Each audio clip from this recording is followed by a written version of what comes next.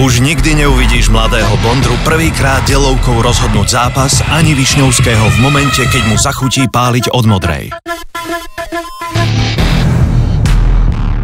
Už nikdy si nezakričíš pri Šatanovom prvom góle a neprekvapí ťa obrovské nasadenie mladého Cháru.